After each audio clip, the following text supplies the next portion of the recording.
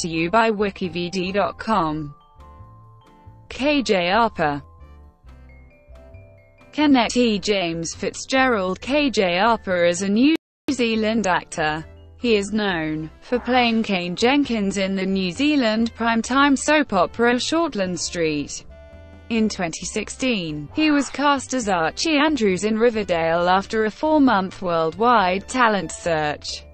In 2015, he was cast as teenage Ethan Montgomery in A Dog's Purpose released in 2017.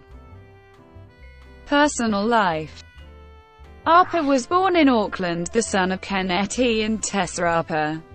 His father is Samoan, and is a Matai of his village in Samoa. He has two older sisters Arietta and Timna. He attended high school at King's College, Auckland before embarking on his acting career.